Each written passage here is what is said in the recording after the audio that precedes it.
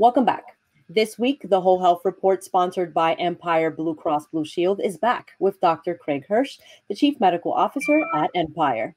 We're joined by two special guests the Reverend Dr. Bruce Rivera, President of the Bronx Multi Faith Advisory Group, and the Bronx Borough President's Director of Health and Human Services, Dr. Nancy Kheck. We will be talking about COVID vaccines today. Welcome, Dr. Hersh, Dr. Rivera, and Dr. Kheck. Thank you so much for joining us. Thank you for having us. Yep. Thank you for having us. Hello, Sonyi. How are you? Doing uh. To set the stage for today's segment, um, as you know, Empire's mission is to materially and measurably improve the health of all New Yorkers.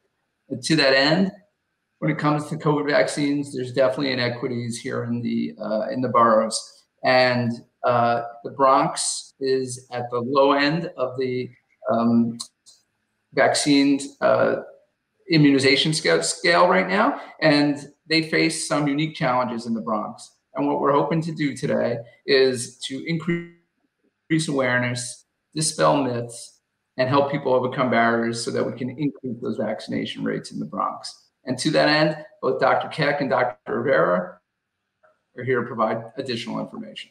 Thank you so much, Dr. Hersh. And this is definitely an important topic to discuss. We thank you all for joining us. Um, I have read reports that there were issues getting the vaccine distributed equitably. Dr. Rivera, I know you helped found the Angel Brigade to improve access to the vaccine within Black and Brown communities in the Bronx and Washington Heights. How did that get started? Martin Luther King Jr. once stated that all forms of inequality injustice in healthcare is the most shocking and inhumane because it often results in physical death. And in keeping with the tradition of the civil rights movement of the 1960s, we have examined and scrutinized the government's involvement in providing or not vaccine equity, particularly to our Black and Brown communities. So we immediately found out that the vaccine rollout was hampered by a number of key systemic deficiencies that were not fair and equitable towards the people who would need help the most. Early data had already supported the fact that certain zip codes in the South Bronx had the highest incidences of COVID infections, COVID hospitalizations, and COVID related deaths in New York City. So you would think that the folks in these zip codes would have been targeted first. Unfortunately, the very next day of the vaccine rollout, appointments for locations citywide were full, and people started to complain that there were no vacancies for weeks. And true to form, the city of New York was ill prepared to address these problems immediately. So others took advantage of this disparity. And many who knew how to navigate the system went to the front of the lines people who were computer, savvy, people who had family members with digital access, people who did not live in the five boroughs, and people who were primarily white from the suburbs of Nassau, Suffolk, Westchester, and Rockland counties. Fort Washington Armory, under the auspices of Columbia Presbyterian Hospital, had initially opened its door for vaccination without setting aside appointments for the very people who lived in Washington Heights and without uh, providing availability of Spanish interpreters in one of the largest Spanish speaking communities in New York City. Unheard of. So the Angel Brigade was an outgrowth of the Bronx Multi Faith advisory group's attempt to help close the gap by putting together a volunteer task force made up of congregants from 40 churches, eight mosques, four synagogues, one Hindi and Buddhist temple that would provide vaccine appointment assistance, transportation to vaccine locations, and language interpreters to improve vaccine access in the Bronx and in Washington, Washington Heights. I shift now to highlight how we successfully use this information to guide our efforts at lobbying our Bronx elected to unite and rally around the issue of vaccine equity, and subsequently sent a letter to the governor and mayor dated February 25th, 2021, advocating for increased access to vaccinations on par with the FEMA New York State sites, which had been opened in Brooklyn and Queens. This served as the catalyst in increasing the number of vaccines at Yankee Stadium, particularly for the residents of the Bronx, and the opening of two locations in the North Bronx and Co op City that predominantly serves our aging uh, population. So we are happy that the Bronx elected showed a unified front to highlight the disparities that were existing in our Bronx community and how they could be corrected to the benefit of all Bronxites. Thank I you yield so the floor back. Thank you so much for sharing, Dr. Uh, Reverend Dr. Rivera. And Dr. Kheck, there's a lot of work happening at the Bronx Borough President's Office as well. Um, can you tell us what the borough has done to address issues with access here in the Bronx? I want to thank Dr. Rivera for pointing out all the issues regarding access and the equity initiative uh, put out by the city. Uh, he proved something important in that it takes um, it takes a, an investment in human capital, in in working with partners, people, community, and faith-based organizations to really know what's happening in communities, where the need is, where there is the greatest digital divide and the lack of information and access.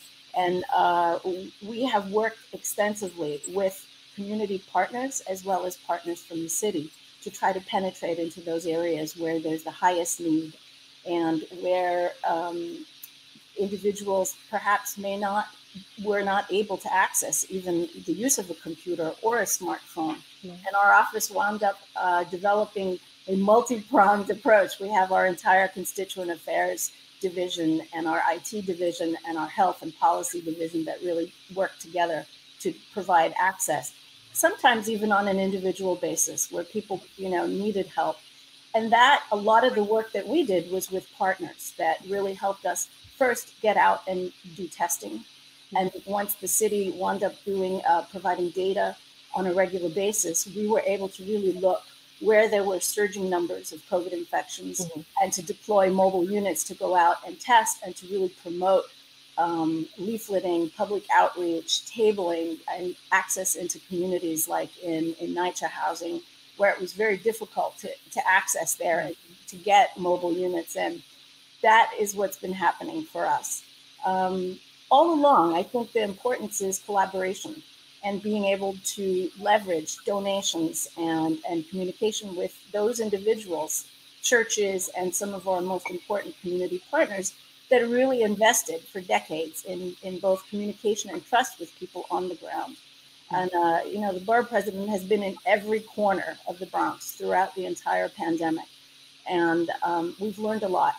You know, you on the ground, you see what's really there. And we are grateful for the work that you've done, Dr. Rivera. Thank you.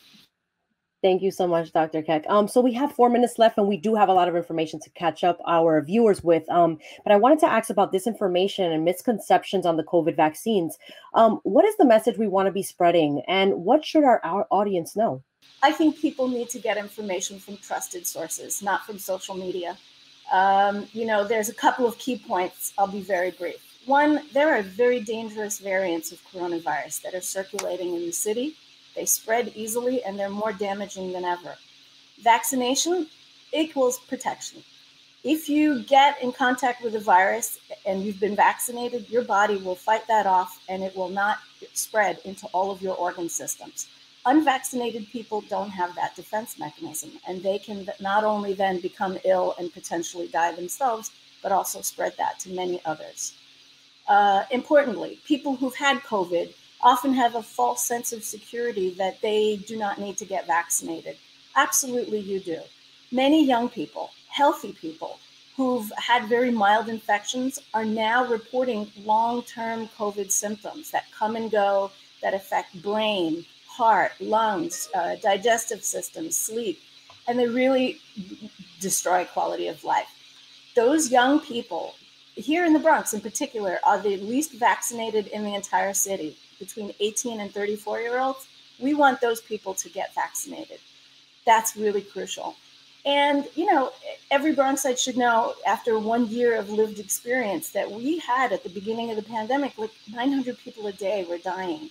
Now in the Bronx, on average, it's three or four, and even that is too much. getting vaccinated matters. Thank you so much, Dr. Kheck, for helping us break that down for our viewers. I think there's also some misinformation out there on the Johnson and Johnson vaccine as well. What can you tell us about the safety and effectiveness of this shot?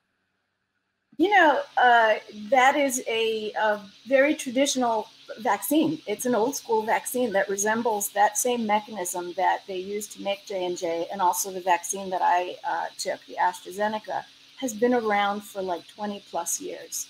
Um, there's a lot of attention now, very di- to a very, very, very remote and rare possible side effect. And um, I always tell people, you know, the numbers that the CDC talks about in millions doesn't always make sense to the average citizen, a layperson. And I always say, think about if every single person in the Bronx were vaccinated with J and J, mm-hmm. the possibility that any person would have a side effect, it would be one person out of mm-hmm. the entire, you know, group. And so it's such a remote and small possibility. It's mostly women who are between a certain age group. And, you know, our national leaders, the experts decided that the benefits significantly outweigh the risk because it's mm. so tiny. It really saves lives, particularly in communities that need access for homebound individuals and for people that work three jobs and or can't make it to a vaccine site that is remote and far away. Right. It really helps. Right. And Dr. Rivera, what role have you played in educating the community the way we're doing right now on this show? What I would like our viewers to understand is that faith based institutions speak to more people on their Sabbath day than any other institution in America combined. So, in essence, we have the platform to get critical public health information out in the least amount of time that is generally received by our constituency with trust and hope beyond that which could be provided by the government and health officials. In moments such as this pandemic, the community turns to their houses of worship to be the clearinghouse of reliable information that will guide their actions on how they will proceed with dealing with COVID. Many of our clergy have led by example and have been tested and vaccinated to help bolster attitudes toward accepting the vaccination as the best path to combat this pandemic. And as you can see, I am one of them. We have opened our doors for COVID 19 testing, provided food and clothing to those who are food insecure and feeling the social effects of COVID, while some have been used as vaccine pop up sites.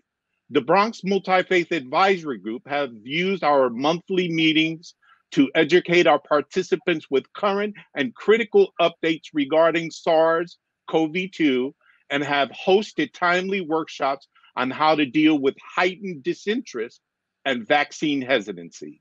I turn it back to you. Thank you so much, Dr. Kheck, Dr. Rivera, and Dr. Hersh for your time today. I wish we had more time, but we do want to keep our viewers informed. Where can they go to find out more information and get help? So there are a couple different places. Uh, clearly, you can go to our homepage, empireblue.com. You can uh, go to the Vaccine Command Center, or you can call the COVID 19 hotline. Uh, the numbers uh, are on the page right here in front of you.